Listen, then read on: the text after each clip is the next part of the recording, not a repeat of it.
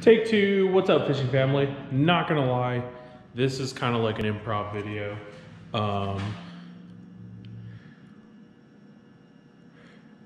I went out, I went fishing, I was gonna take the kayak out and do a review. Full disclosure, I forgot my paddle. So there's your first tip when you're into kayaking. Make sure you bring everything, especially a paddle. It's kind of hard to paddle a kayak around without one. And I almost like want to put it in its own video because it's one thing that I like couldn't find when I was looking. Like, how stable are these for bigger adults? And being 260 pounds, like this thing was pretty stable.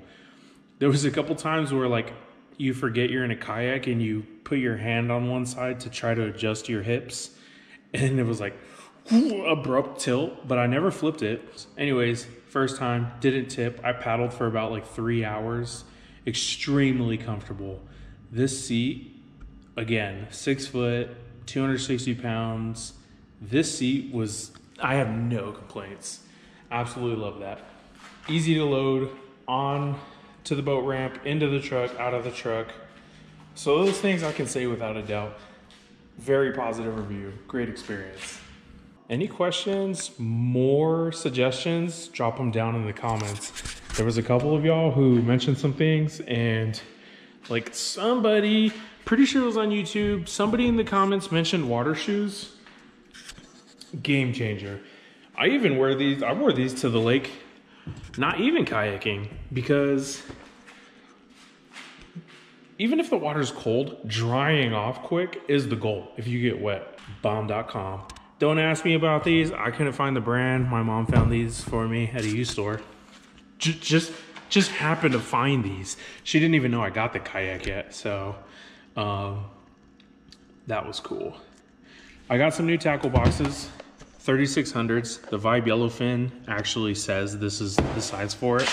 And what's interesting is they fit perfectly in here. There's this little bungee cord, and I don't know I was anticipating that the purpose was that so you can pull over and lock something in there. And my smaller tackle boxes that are more flush with this, you can.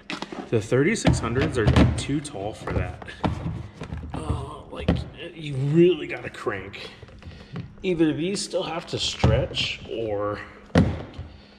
But when you're in the kayak, that's kind of like, like you can see like, I'm flexing pretty good. Trying to get that in there. Ooh, that was probably loud. Let's try that one more time. Uh, yep, nope. So I don't like that. The dry storages work really well. Having not tipped my kayak yet, I left it in my truck and it rained here pretty good.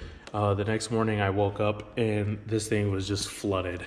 Pulled the scuppers, drained the water out, opened these up, no water in them whatsoever, and they were fully submerged in rainwater. So super good reviews on that. Overall, the tackle boxes, I'm not sure. As far as getting the size that fits or getting a smaller one that you can pull the bungee over, um, that's something I'm not totally sold on yet. The dry bags, highly recommend. Um, like a bungee, pliers, clippers, you know, kind of that just stuff to replace your tackle, highly recommend. Flotation device, awesome. And tow straps. You're gonna need tow straps, whether you're in a truck like me and just towing it down, or you got it on a rack on your car, uh, you gotta secure it.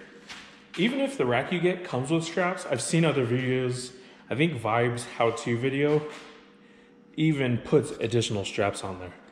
So to summarize, if you're new into kayaking like me and you're wondering what all I should get, I would say the must haves are obviously your kayak and your paddle, a flotation device, a comfortable one, um, tow straps, and or a tow rack, however you're doing your transportation. Um, skincare, I'm not going to tell you how to do it. Just so far, the hat and these like baklava thingies or whatever are really comfortable and provide full face, neck, ear protection. I highly recommend the water shoes. You do not have to. Um, I highly recommend the little pliers, clippers set up to clip on somewhere. And the net is really up to you and what you're fishing. I honestly rarely use a net. Um, a rubber net especially is really good for trout fish for their protective layer without rubbing it off compared to a rope net or hand the handling with your hands. So if you get a net, I would recommend getting one that you can extend or is smaller and some kind of attachment. It doesn't have to be this, it could just be a rope that you can attach it somewhere. A lot of people have them in the back. I've seen some people just kind of have them in here. This definitely becomes like your workspace. Like I noticed no matter where you have your rods and stuff, like this becomes where you put things while you're kayaking. That also reminds me, I don't love the rod holder placement. Um, I felt like if I had a rod here or here, I was just very cognizant of it when paddling. And it felt like it was like kind of hindering on my natural range of motion. That may also be a paddle length thing. This is adjustable. I'm learning the proper paddle length for kayak size and my personal height. So again, not doing a full review, just kind of like right off the bat where I'm at and how I feel about things.